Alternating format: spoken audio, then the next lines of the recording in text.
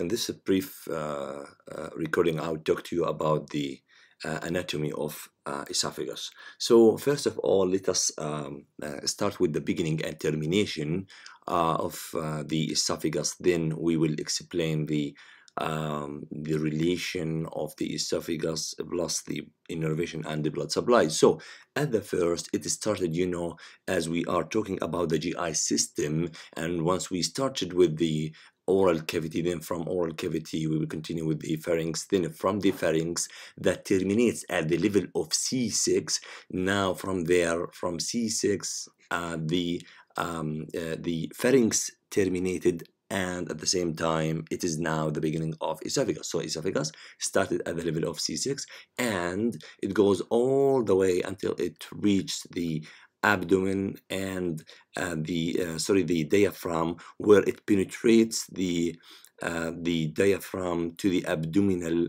uh, cavity at the level of uh, thoracic vertebra number 10 so it started at the cervical vertebra number 6 and terminated at the level of thoracic uh, vertebra number 10 where it pierces the the uh, uh, the diaphragm, right?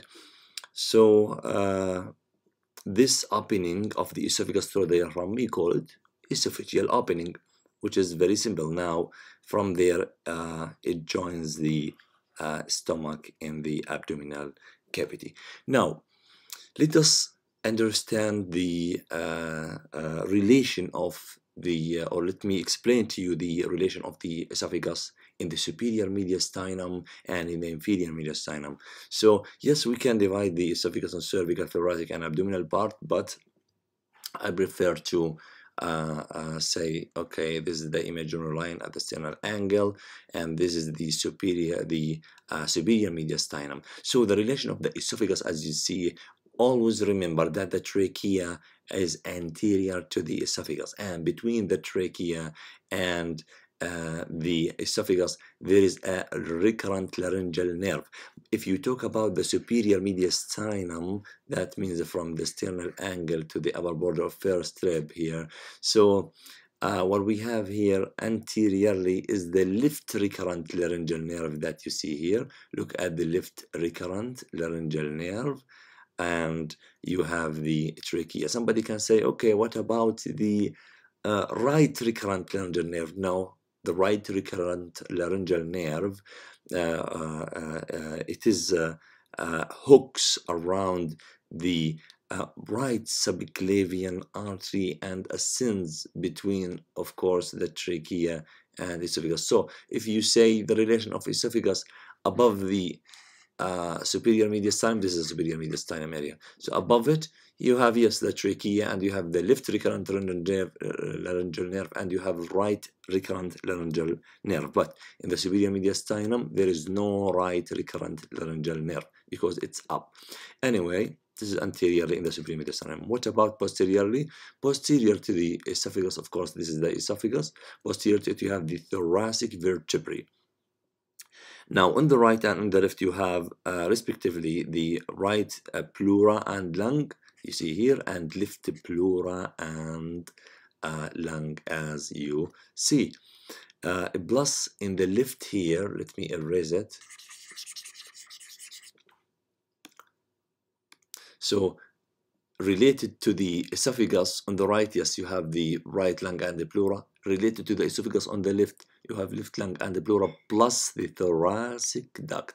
You see the thoracic duct, which is a lymphatic duct that drains the lymph from the uh, abdominal region up here at the junction between the internal jugular and subclavian uh, vein so these are the relations of the esophagus in the uh, superior mediastinum. Let us move a little bit below, below this line, below the sternal angle line. Again, this is the line, sternal angle line, or between T4 and T5.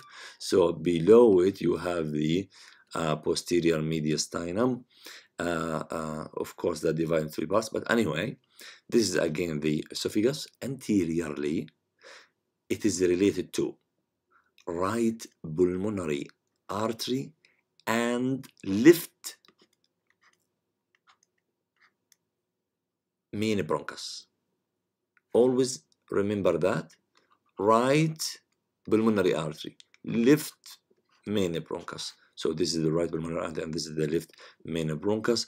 Also, if you go a little bit down here, my friends, it is the location of the pericardium and heart. So this is the pericardium and inside it you have the heart, right? So the pericardium, the pericardium, my friends, here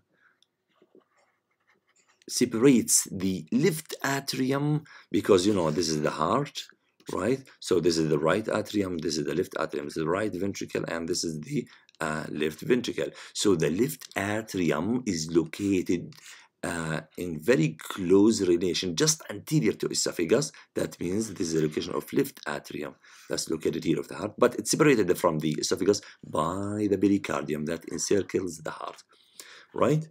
So this is the uh, uh, uh, this is the relation of the esophagus again here anteriorly now posteriorly it's related to thoracic duct. I will show you where is that and the uh, thoracic uh, aorta and azygos uh, vein right?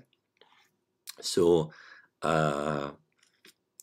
posteriorly you have the thoracic duct that ascends. I would prefer to use the let me show you where is that here is the esophagus again and posterior to it as I mentioned you have the thoracic duct although it is the thoracic duct indeed at the first at the first at the beginning it is to the right side of esophagus. Then it crosses at the left of T5 it crosses behind the esophagus then it ascends to the left of it right? So if you look here for the thoracic duct up it is to the left right? Because this is right and this is left so the thoracic duct because it ascends here to the right of the esophagus then at the level of T5 see here say here it crosses behind the esophagus then it ascends there right? This is the pathway of thoracic uh, duct. And of course as I mentioned the thoracic artery here and azygos uh, veins. I will show you where is the azygos veins. Let me yes this is the azygos vein right? Now um, to the right yes you have the right lung and the pleura and to the left you have the left lung and uh, pleura uh, uh, and of course you have the thoracic or descending aorta again and again. Just to remind you, my friend, that thoracic aorta is the same as descending aorta. They are the same, right? This is the descending aorta, and we call it thoracic aorta. Okay. Now, importantly, my friends, away from now from the relation, let us let us uh, talk about the esophagus itself and here the uh, uh, I, I would like to shed the light on the constrictions inside this muscular tube. So the esophagus as you see has four constrictions or compressions narrowing area. The first one between the pharynx you know the pharynx ends at the level of C6 and then the esophagus started. So the esophagus is a continuation of the pharynx. Anyway this junction between the esophagus and pharynx is the first one. Uh, pharyngoesophageal constriction. And also you know the relation uh, of the I think we forgot to uh, say uh, arch of aorta but but the arch of aorta is also creates a kind of compression in the esophagus. So this is the second constriction right? Also the left main bronchus creates a compression of esophagus. This is the third one. Also where is the um, uh, at the esophageal hiatus or opening, the esophagus one passes through the diaphragm, it creates also a kind of a compression or a constriction. So we have four constrictions. Now, what's the significance of that? Before the significance of that, let me remind you with these numbers. If you insert uh, say a device or a tube or NG tube uh, from the mouth. This is the mouth of the patient, for example, and these are the incisor, incisor teeth. So from here, if you insert a tube, now I think we have to approximate it. Let us draw it closer here. Say this is the uh, the the mouth and uh, here's the incisor teeth.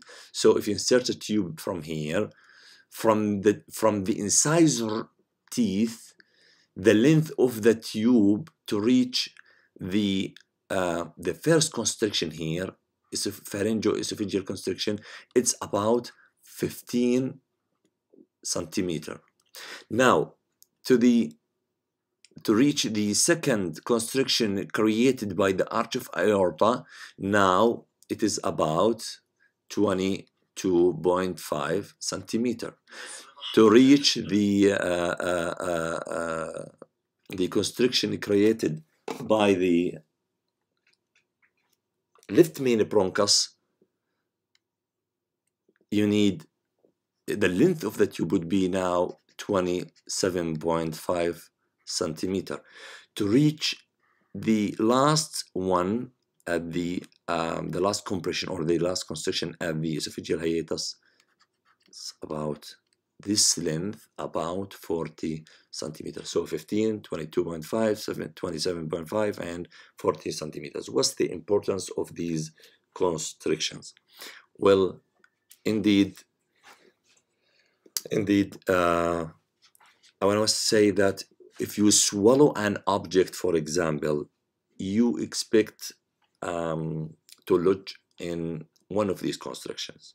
Also, if especially in children, sometimes they um, drink or ingest like corrosive substances, right? So these substances um, can create sometime uh, or most of the time uh, like uh, burning for the internal surface of the esophagus. So where do you expect mostly, uh, um, where do you expect the part of esophagus will be affected? Uh, well, indeed, we expect at these compressions. Why? Because the fluids will pass very slowly at these constrictions. That means the corrosive substances or the corrosive substance will um, create a kind of more impact on the esophagus uh, than any other uh, uh, location in it.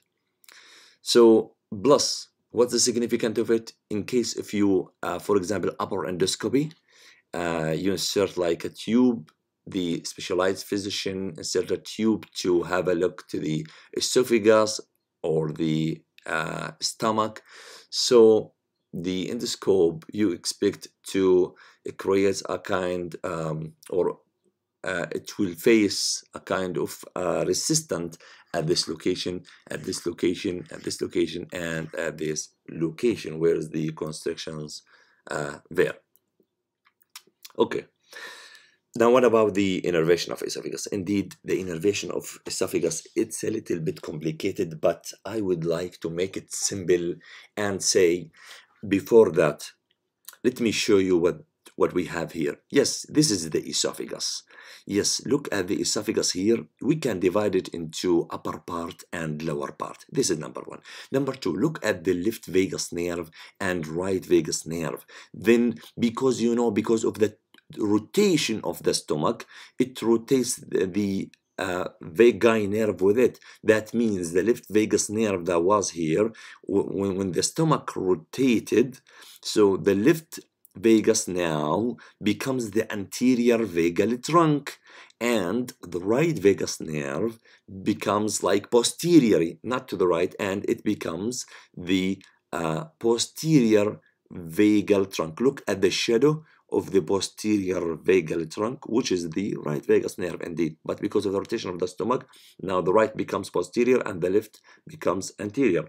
Anyway, the right, the anterior vagal trunk and posterior vagal trunk, they in the lower part of esophagus, they create a kind of a plexus around the esophagus. We call it esophageal plexus. And in this plex and this plexus, the esophageal plexus, is not just created by anterior vagal trunk and posterior vagal trunk.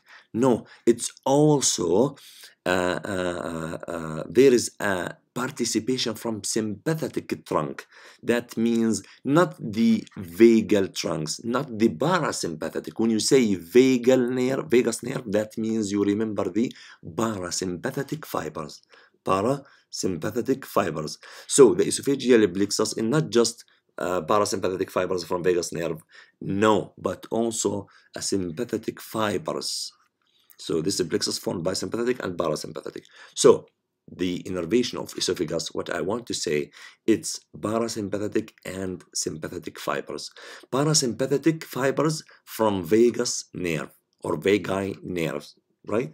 But the sympathetic uh, nerves come from the sympathetic trunk that's located on each side of the uh, verte vertebral column. We call them sympathetic trunk, right? Now, let me erase these things and uh, here again uh, so uh, distal to the bifurcation uh, yes I explained this and now what I want to say that the upper part let us now talk about the innervation in the upper part and lower part the upper part of esophagus is uh, uh, uh, innervated by a branch of recurrent laryngeal nerve. Look at the left recurrent laryngeal nerve, and if you go up above the mm, superior mediastinum, you will get again right recurrent laryngeal nerve. So the recurrent laryngeal nerves here uh, uh, uh, innervate the innervate the esophagus or the upper part of the uh, esophagus, and of course they represent the parasympathetic fibers, right? parasympathetic fiber because you know the recurrent laryngeal nerves they are branch of vagus nerve right? So that means again back to the parasympathetic and sympathetic so parasympathetic here the upper part through recurrent laryngeal nerve from vagus nerve and the sympathetic fibers come uh, uh, uh, from the postganglionic sympathetic fiber reach through the inferior thyroid artery. Because most of the time the uh, look at the inferior here. This is the subclavian artery and this is the thyrocervical trunk and that gives the inferior thyroid artery then it gives pharyngeal branch so from inferior thyroid artery that passes medial to scalenus anterior so uh, it also um, sympathetic fibers uh, accompany it until it reaches the uh, upper part of the uh, esophagus. Now, uh, this is about the upper part of esophagus, sympathetic and parasympathetic. Now, what about the lower part of esophagus? The lower part of esophagus, my friends, uh, uh, innervated by the esophageal plexus. That created by vagus nerve and the sympathetic fibers from thoracic area sympathetic uh, sympathetic fibers from sympath from the sympathetic trunk at the thoracic area, right? So vagus nerves on both sides create this plexus. That means it contains parasympathetic created by vagus nerve and sympathetic from thoracic from the uh, sympathetic uh, trunk in the thoracic area.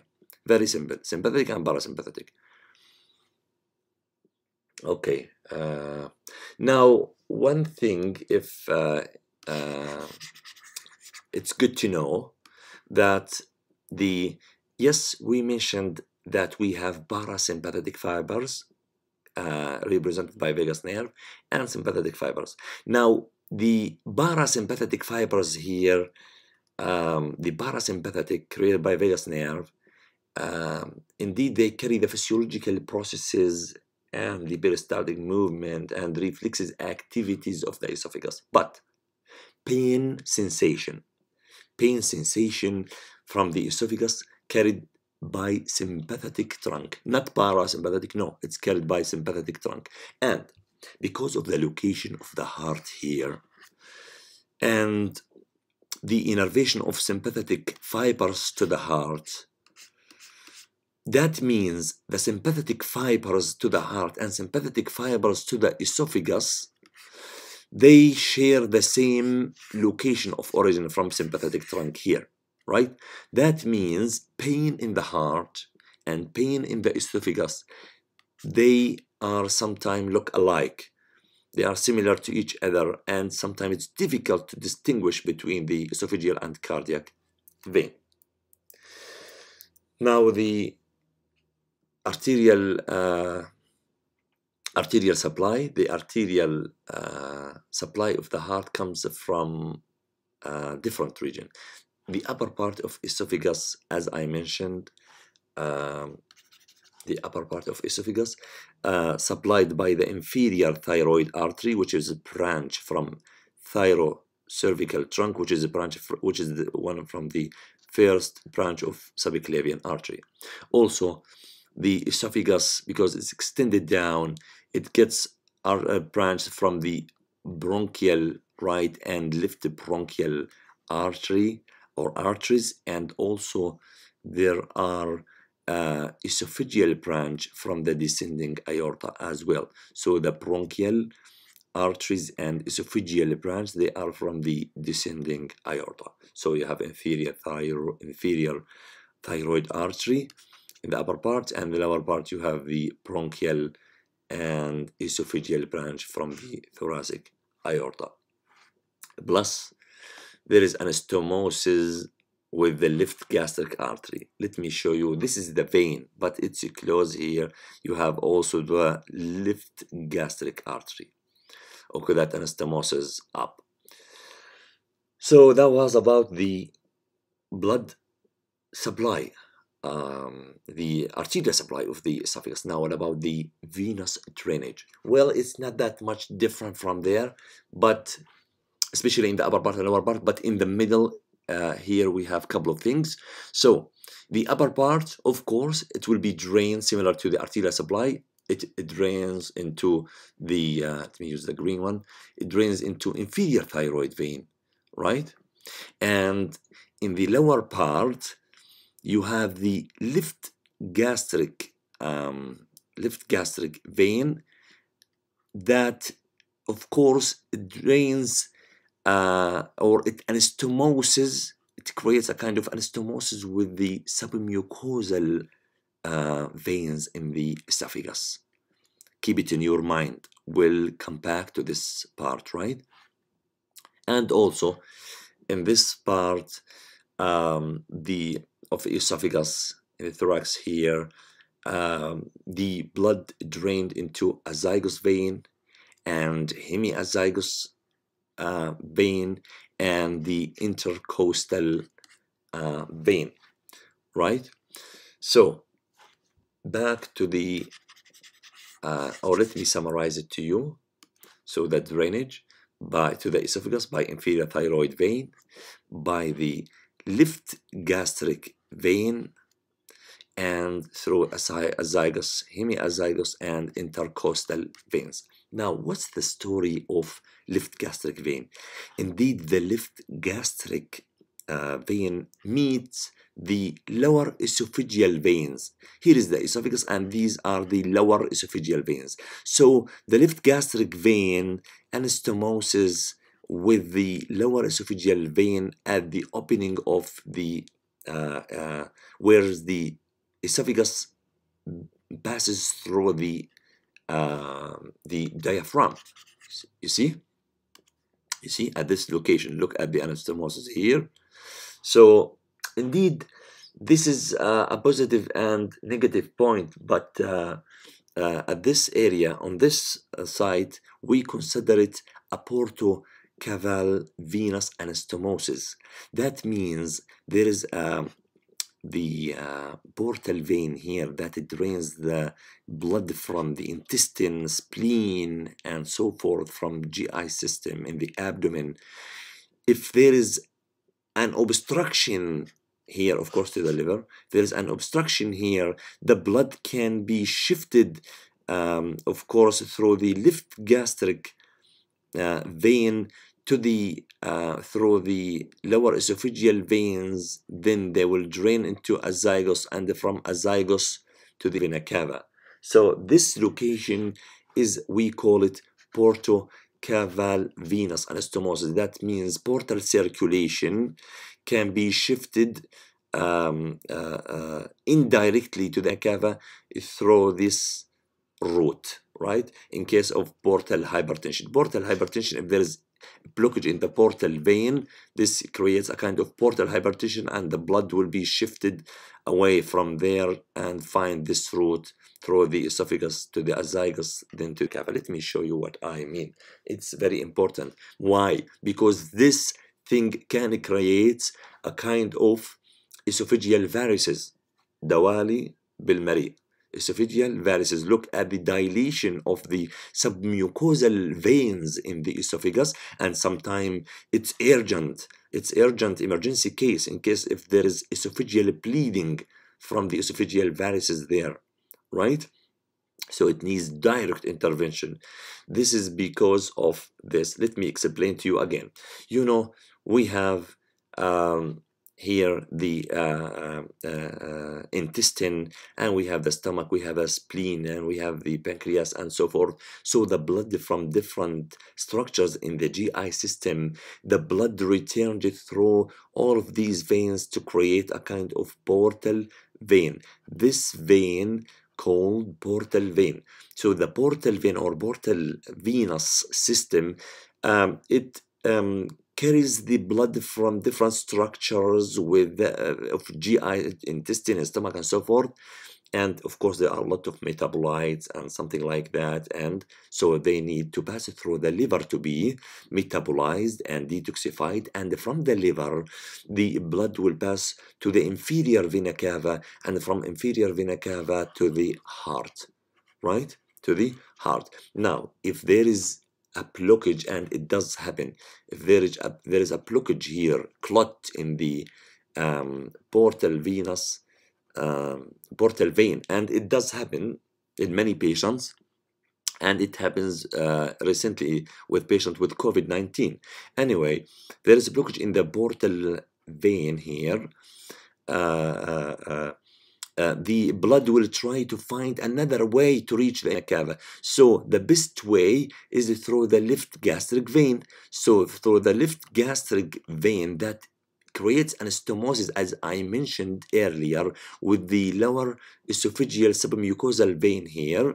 So the veins of lower part of esophagus in the submucosa they anastomoted with it then from there, the blood shifted through the azygos vein, then from azygos vein to the vena cava, and from into the heart. But the esophagus has to pay the price. The price of it because of this pressure of the on the submucosal small submucosal veins in the esophagus internally.